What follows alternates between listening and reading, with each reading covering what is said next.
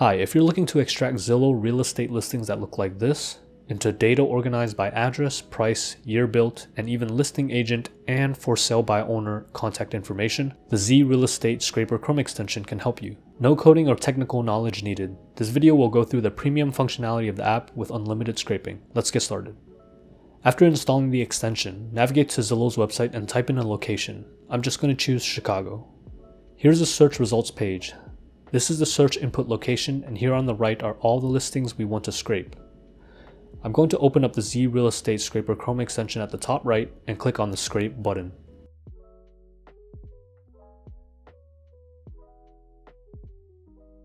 You can see that I've scraped 41 property listings from the search results. Clicking this down arrow will show some more detailed information about this specific property. Now, to get the listings on the second page, left click on the number 2, and as a results update, I'm going to open up the extension in the top right again and click the scrape button.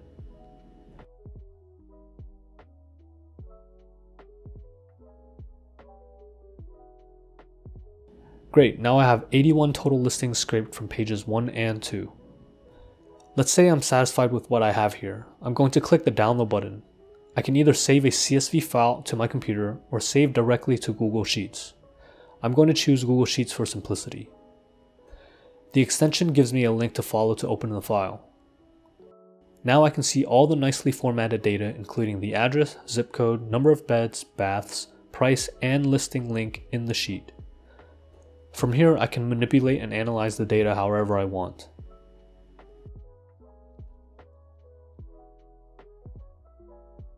Next, let's say I want to scrape properties for another location.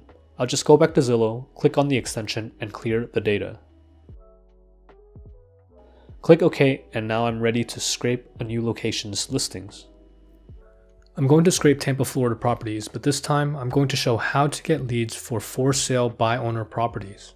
After searching for Tampa, I'm going to click the More section, click By Owner and Other, and click Apply.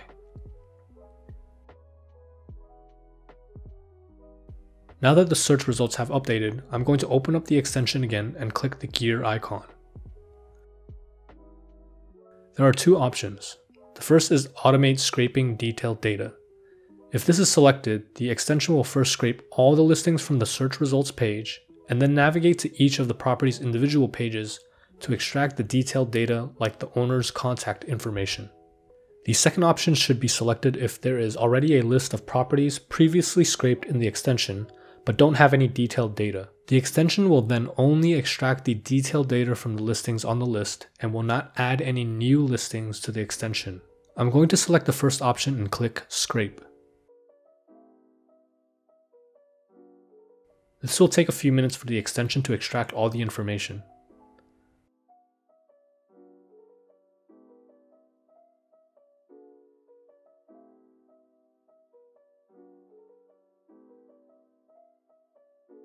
Once that's done, the extension will navigate back to the search results page where you left off. Let's take a look at the data extracted by clicking this down arrow icon. You can see the phone number of the person that listed this property along with a lot of other info like the year it was built, the HOA fees, heating and cooling, and much more.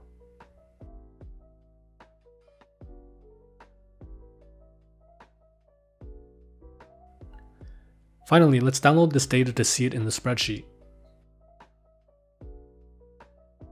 Open up the file, and just like that, all the data is available and was automatically extracted from Zillow with minimal manual effort.